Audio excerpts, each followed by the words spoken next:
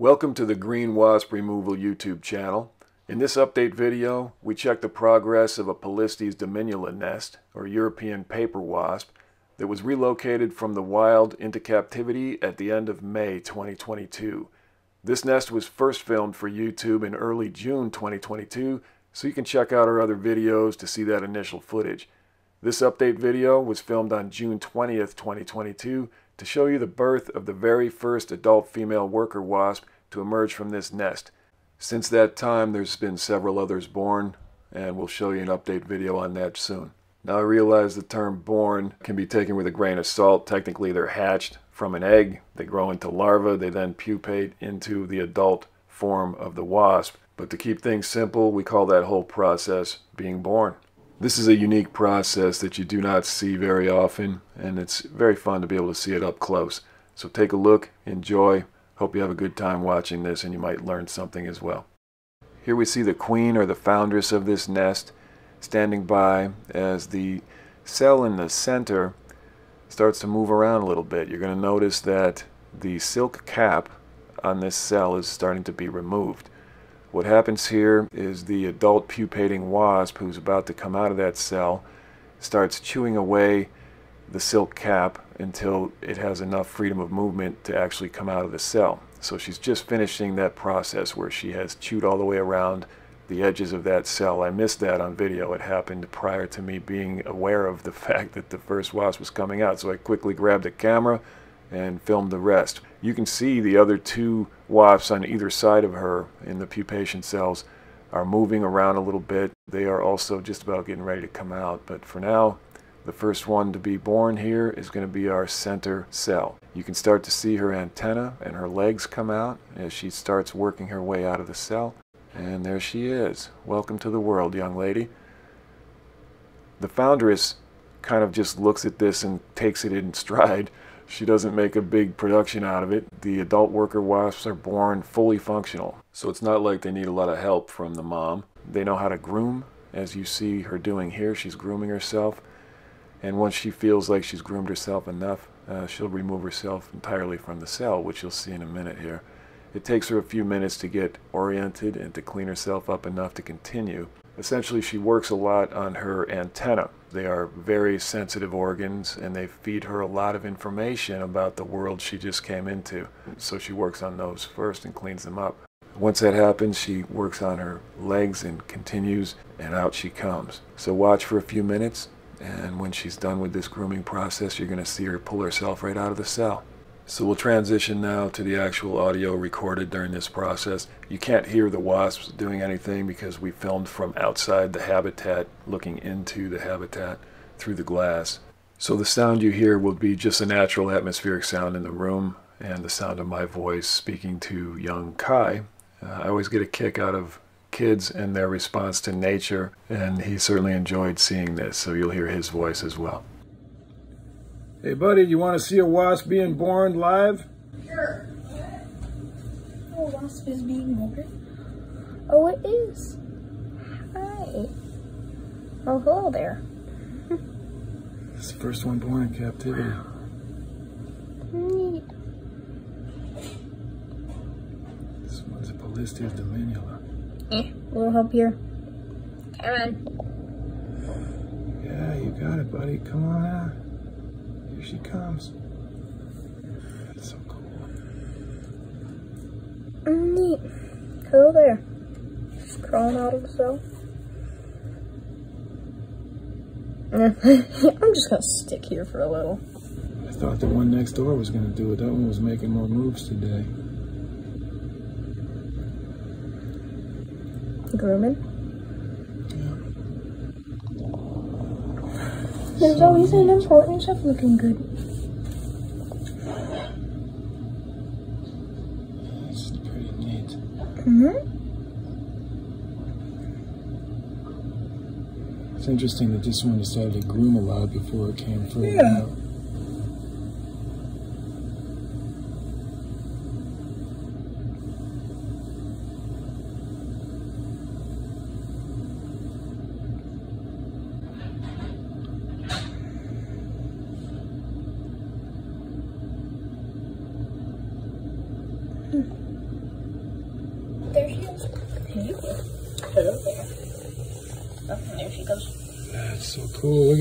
Look at her. Popped right out. Good job, Wasper. It's so interesting how they just grow into that thing while Yeah, they're just under. fully, fully formed adult wasp. Her wings are still a little wet. That's really cool. Mm-hmm. Glad you were there to see that, buddy. That's pretty neat. Not many people in the world have seen that. Except on YouTube. She's the one who's grooming her butt. That's her. She just came out. Brand new wasp in the world. I wonder what she's doing. So it takes her a long time to kind of stretch and learn how to move her body and clean up. That's so neat. And then mama wasp will go right in there and clean up that cell. And then she'll lay another egg right in there real quick like. I don't see the silk hat. Oh, I see it in there.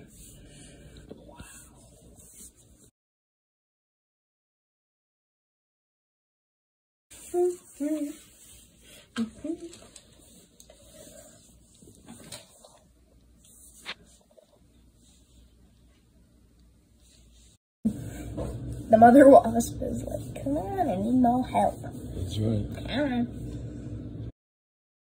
So here we transition back to voiceover. And what you see here is the foundress wasp cleaning out the cell that was just vacated by the brand new adult wasp who had pupated and come out. Uh, she'll clean up that cell very, very carefully. And as soon as she feels like it's clean enough, uh, you'll see her immediately lay an egg in it. The instinct of the foundress wasp is to crank out as many eggs and as many worker wasps as possible as fast as possible to grow that colony. So no time is wasted between the pupating adult coming out of the cell, the cell getting cleaned up, and a new egg going in. So the process of preparing the cell for the next egg is interesting to see. You see her chewing away on the silk cap, first of all, to remove the rest of the debris from the silk cap that the previous larva and adult wasp that just came out uh, had put over the cell uh, to protect it during pupation. So now that she's got it removed, uh, she'll just discard it and get it out of the way. And then she'll continue cleaning out the cell. They have to be very careful about this because there's parasites or there's disease or there's dirt or debris that could affect the development of the next egg. So they're very careful to make sure anything in there is removed and that it's clean. Uh, this nest in particular, so far as we know, it does not have any parasites um, and does not have any problems. It seems to be doing fine in captivity so far. But part of that process is keeping it very clean. You'll notice that the new wasp that just emerged from that cell uh, is engaged in very careful grooming. Uh, this is all instinctual behavior that they know how to do immediately when they come in. And now you see how the other wasp, the queen, the foundress, puts her leg up on top of the other wasp. This is partially because of where the wasp is located. She just has to get around the cell, so she's got to walk and move around it. But you'll see more of that behavior in the future. This is how the foundress or queen explains to the new wasp who was just born, who is a female, the foundress will kind of let that new wasp know from birth. All right, you're going to be the subordinate worker, and I'm going to be the boss laying the eggs. And part of the way they do that is by oftentimes putting their leg or their foot over the other one to sort of hold it in place sometimes. And that behavior uh, is considered part of the dominance process to establish which wasp is going to be the ongoing queen laying eggs. And so that walking over on top of another wasp is, uh, is considered dominance behavior. Here as we look into the cells a little bit, you can see some of the other developing eggs in the very small larva that has already hatched and, and begun the larval stage.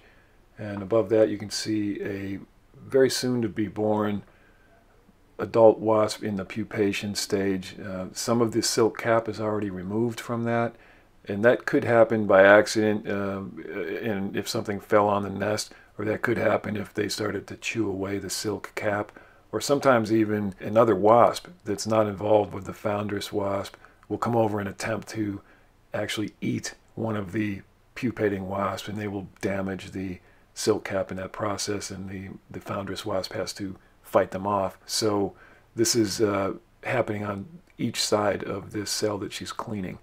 One is still pretty much a larva, that's the one on the left. The other is just about ready to come out as an adult wasp on the right. So they're in two different stages of the pupation process. So you can see she's already repaired a lot of the edges around that cell that was just vacated.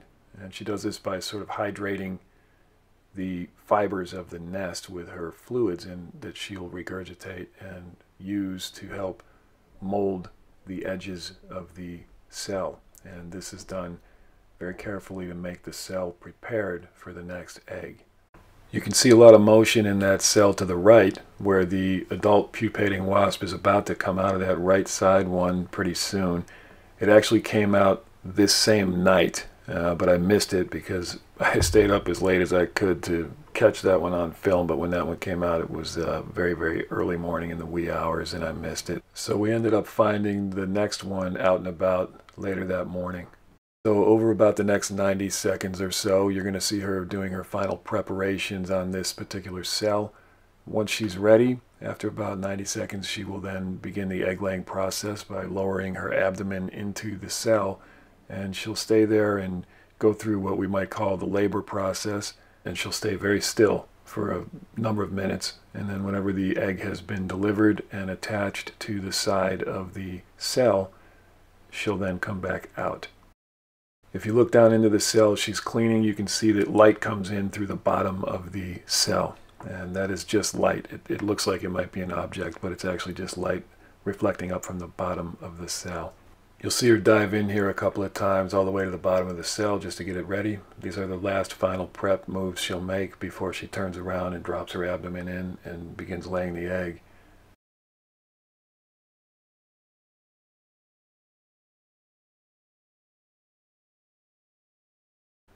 Notice how the other wasp, the new adult that was just born in that same cell, is still engaged in the process of grooming and getting her bearings.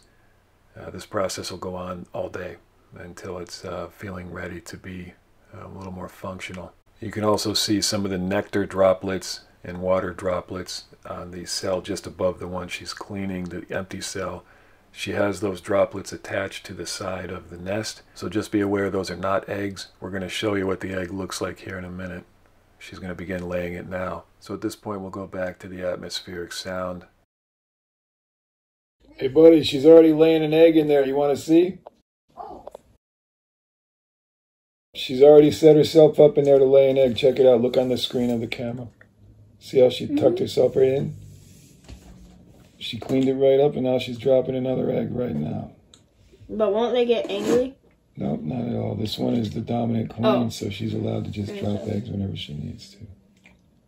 So she stays in there for about five minutes and then pops out. Neat. Sometimes not even five minutes. So back on voiceover now, you'll notice that the other wasp is still grooming and just sort of resting. Uh, it takes a lot of energy for that new wasp to chew her way out, to groom completely, to become acclimated to the room and the world, in fact, that she's now in. And in the meantime, the foundress or the queen immediately drops that egg. She doesn't waste any time. And when we go to film this, uh, we didn't want to disturb her. We just kind of were very quiet at this point and made no sound. We just wanted to see exactly how long it would take for her to do this. So, just for your reference, we saw her in labor like this, very still, for about three and a half minutes. So, that's the entire length of time. And then you'll see her just pop right back out, and we take a peek in the cell, and there's a brand new egg there. So, you'll see that here in just a moment. We wanted to show you this process in real time, uh, just so you can get an idea of the entire process uninterrupted and unedited.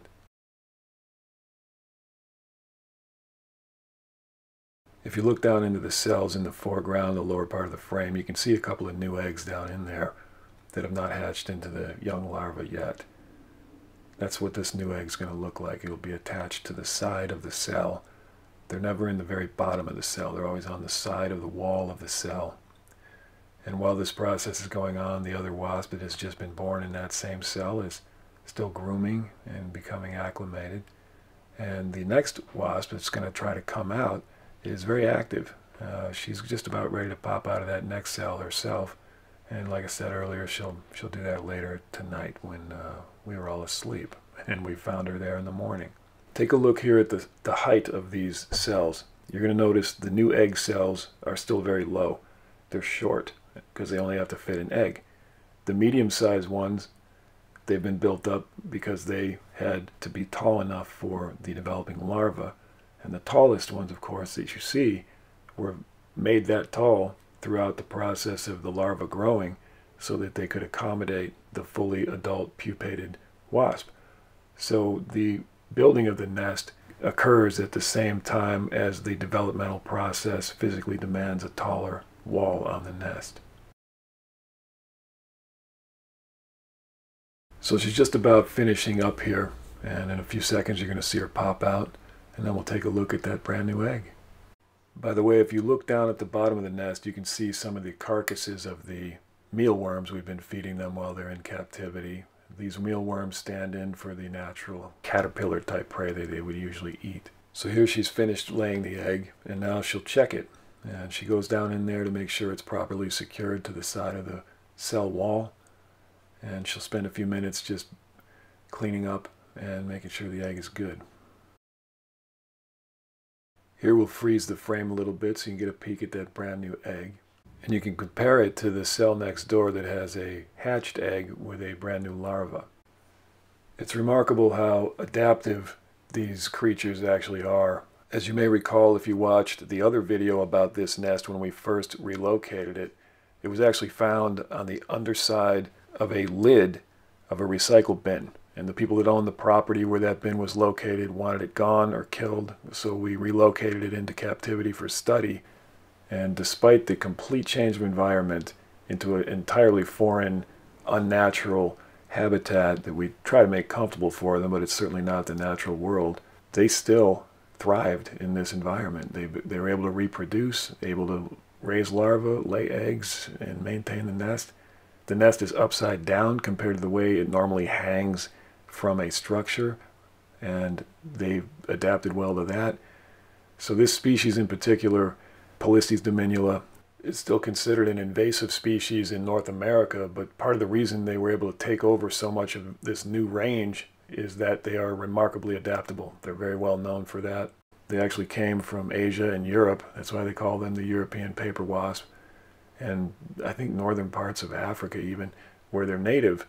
But when they got here, they completely took over a lot of the range that used to be for like the northern paper wasp or the metricus wasp they have completely displaced a lot of them uh, because they're so aggressive in their reproduction and adaptive ability. Polistes dominula are especially good in the urban environment, cities, you name it, they're going to be there, as well as anything in the rural environment. So there you have it, the process of coming out of a pupating cell and the process of putting an egg right back into that cell. Uh, you got to see them both today. Hope you enjoyed the video. We'll have plenty more coming up. Content related to what we do here at Green Wasp Removal, which is environmentally responsible control of these critters, wasps of all sorts. So stay tuned and have a good one.